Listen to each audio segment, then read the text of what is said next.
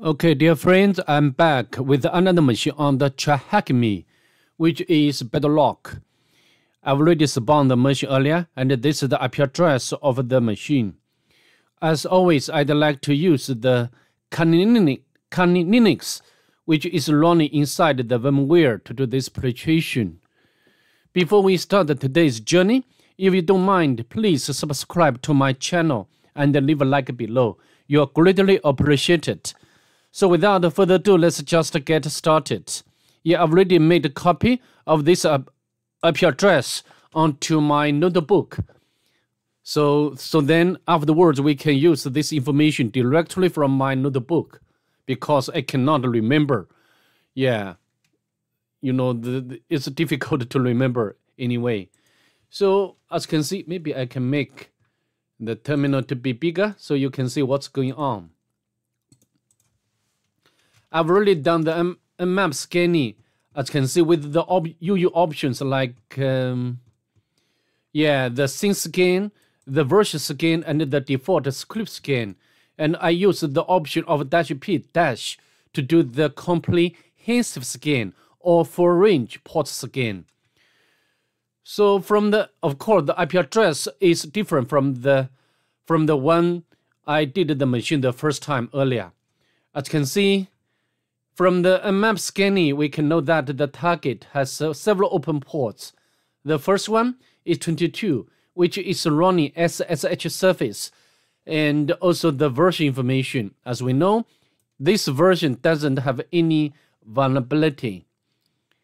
The second one is 80, which is running HTTP service, and also the corresponding information, which is nginx. And uh, also, yeah, here yeah, tells us yeah will will not uh, direct to this yeah to another port number, and uh, which is 4040, and 4040 is running HTTPS service. And there's some information, of course. Later we can use the browser to take a look at it. Okay, and the last, not the last one. The next one is 9009 I think this must be custom uh, surface.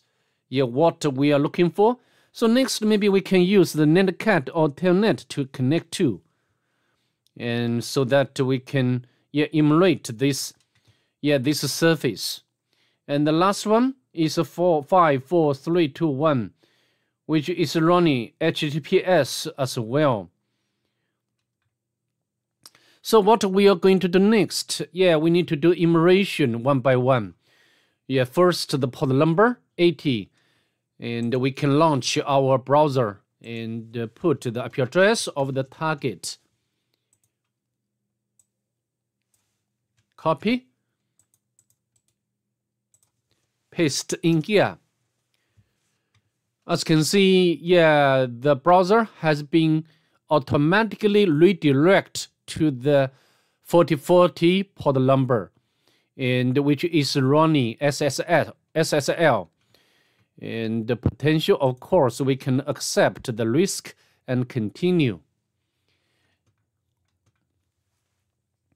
Here, yeah, we are told some information like um, broadcasting. We are in the process of building, sorry, can you believe this technology exists in Bedrock? Bunny is helping, maybe this is the user, right? Possible user name. We can note down onto our notebook in case we need that, this information later. And it's helping to set up the server. He said that this info was important. Okay, hi, it's Bunny. I only figured out it injects so far what the hell is database. Try to set up SQL database, but I don't see it running. Looks like it started something else, but I'm not sure how to turn it off. He said it was from the toilet and over 9000. And we need to try and secure connection with certificates. So maybe, yeah, we need to use the certificate to connect to. All right, and uh, also as usual, we can check the source code of, of this page, which doesn't reveal anything interesting. And also we can check use the or to access robots file. However, yeah, this file, robots file not found. However, from the error, we can, yeah, I think this needs some important information Maybe later we can use, use this information. We can note it down. Yeah, this should be the root directory of our web application. So what we are going to do next, maybe we can use Ligato to do some enumeration. And uh, we can put the IP address. Oh, sorry, not this one.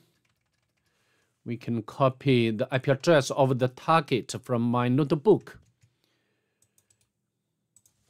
and the port number is 4040. Let's press enter to see whether we can find out some, some something interesting or weird. However, yeah, we cannot get such information to save time. I'd like to interrupt here. Okay, also we can use the GoBuster to do the directory enumeration or brute forcing. GoBuster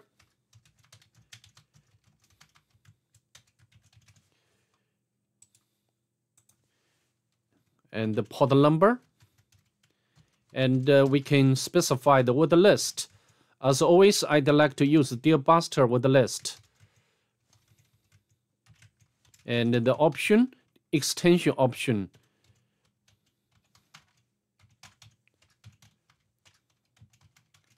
Something like this. Your error, you cannot validate certificates. So we can use the option of the K, I I, I if I remember well, yeah, we can use this K option to mean to to to not valid, validate the certificate of the target or sent of the, from the target. Yeah, I think we cannot get anything interesting. I mean, the directory or files from the GoBuster. Again, I don't want the videos to be yeah to be long so i'd like to quit from here and next uh, maybe we can yeah as we can cut out the maps results yeah this one is also the https surface and this one must be some yeah custom surface so maybe we can take a look at this https surface first and uh, we can put HTTPS, the pod number, and pod number is this. Press enter. Yeah, it's not authorized for access. So if we go back to the homepage of this site, or, or, or I mean, in the default port number, it's telling us, yeah, we need to try and secure connection with certificates. So I think next we need to get a certificate to access, yeah, to access this service, but uh, where to get? And uh, I think there is one remaining surface we didn't, uh, yeah, do anything. Yeah, this one, which is running over the port number 9009. Because this is, we cannot use the browser, maybe we can use the netcat to connect to. Press enter. Yeah, what we are looking for. Yeah, very weird or interesting. For example, I just uh, input JSON. Yeah, sorry, unrecognized request. It means that, uh, yeah, the, the server, I mean, running at the background will read the input, our input, and try to analyze the, the, the, the, the input or request because the JSON, yeah, the, the server or the background cannot recognize so that can give us the, this yeah, information. Also followed by another instruction, you use this service to recover your client certificate and private key. So maybe we can put the like a certificate as you can see, we successfully get the certificate. and also we can get the key. But how to, yeah, how to use the certificate and uh, private key to make a collection? At this moment, we do not know. Or we can use the, we can input the help so that, you know, yeah, try collecting using this command. So we can copy, yeah, this entire command and uh, we can paste in here. Of course, we need, oh, sorry, I need to create the or copy the certificate first. And uh, we can copy the certificate here. And the name is cert. Write and quit. And also we can create the key, private key, and we can copy this private key.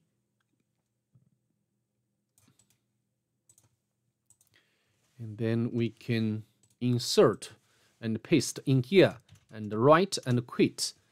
Okay, so now we have already got the certificate and the key. And then I think we can use the socket to connect to, right? Connect to the surface. And how to use? We just copy this command in tally. Oh, sorry, not this one. Yeah, I think we can copy and uh, paste in here. And we need to do some modification. The machine IP, of course, we need to change that.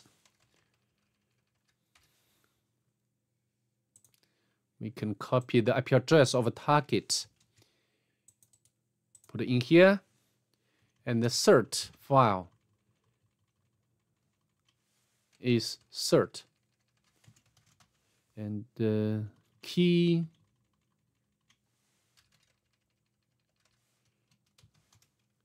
press enter. Yeah as can see yeah we have already got the access to the target which is not um, normal shell. Welcome. Yeah this yeah this service or this user Bali is authorized. But we can run the command like id cannot.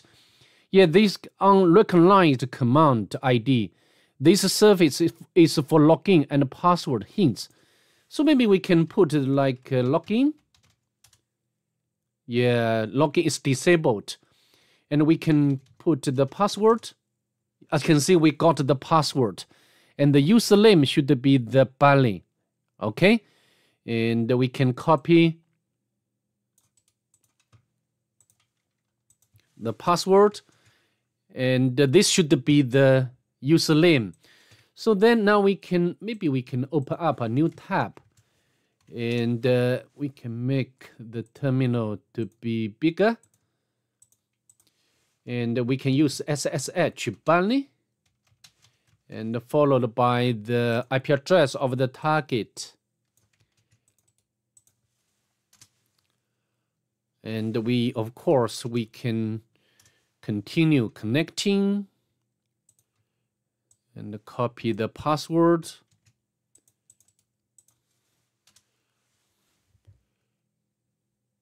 Yeah, as you can see, we are successfully logging as the user Bunny, which is so wonderful. And we can yeah, list the files in the home directory. We can cut out the Bunny. And we got the first flag, I think so. And also there is a hash login. So what it's about? Hash login? Yeah, nothing and also we can know from yeah from the file size. We know that this is the empty file. So now we maybe we need to yeah make a more local enumeration. And we can go to the another user's home directory. And uh, can we navigate into the SSH yeah permission denied. And we can get the thread txt permission denied. So how to do? Yeah, we need to make a lateral movement uh, to the another user thread. Maybe we can run sudo. Yeah, we need to check that. and we need to copy the password of this user, the current user. Yeah, user bunny may run the following commands on this, yeah, on this machine. The cert util without supplying the password of the root user. Okay. So how to do? You know, we can use the sudo and the cert util can we get the help function? Yeah, we we can use can show current certs. Okay, sudo cert util. We can use the else command. Yeah, we as you can see we got some. I think this should be the the PM. I think this we can read the certificate and key information from yeah from this file. So how to do it? We can use sudo cert util and with the option A fret CSR PM PM. As you can see, we got the certificate and the private key. So I think next we can create the certificates and the key for the user fret and use the same way to to to to got the another access, right? So we can copy the certificate. And we can open up an, another tab. Vim fret cert. And the write and quit. And then we can get the private key of the user fret. Copy. And uh, fret key. okay and then we can use the same command. Yeah this one we can copy and uh, paste in here. And the IP address of course should be changed to the target machine. And also we need to replace the certificate file fret cert and the fret key.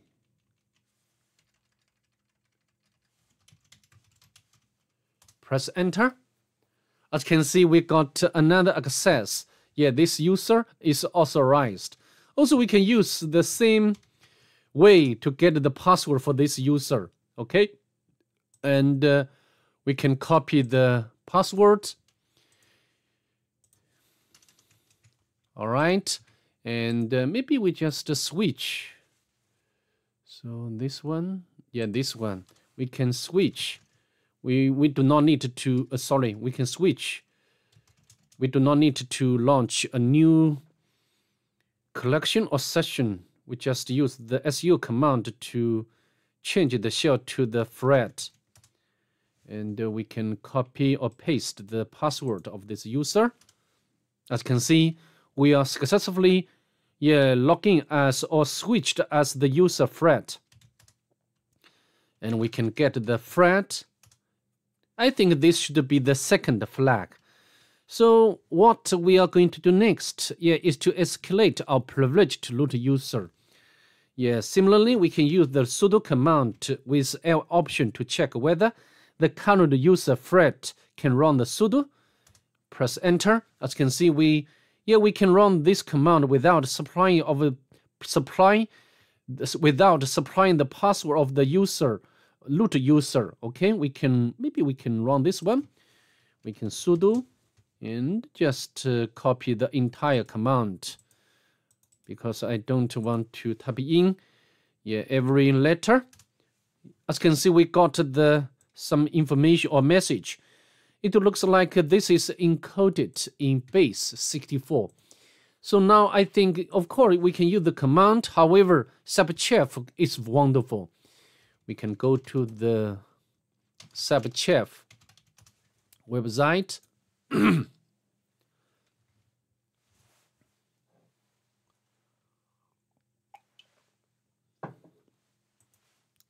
can paste in here and we can select the operand operations base 64. Yeah, from the pattern of the of the data. However, uh, this should be the result or the output is encoded again.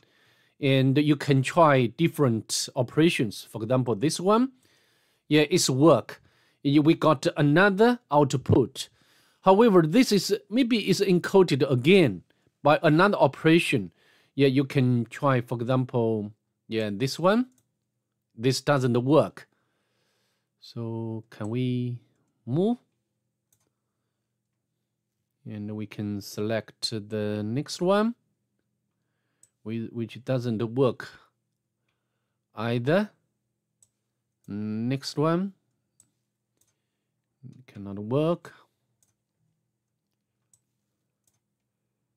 32 not working 64 yeah as you can see we got the final output. And this looks like uh, this is some sort of the md file hash value. We can copy and go to the crack station. Of course you also, you also can use the can also use the like um, hashcat or john ripper. However the crack station is very convenient for the normal decryption. And we can paste in here. Yeah, of course, I'm not robot. Yeah, I need to select the bicycle. Next, yeah, motorcycle. Crack hashes. As you can see, we got the result. Yeah, this should be the password for the root user. We can copy and go back to our Kali Linux and then we can switch our show to the root user and uh, paste the password here. As you can see, it works. So now we can navigate to root directory and then we can cut out the root flag without any issue. Okay, so that's pretty much it. I'd like to see you in the next one. Bye. Have a nice day.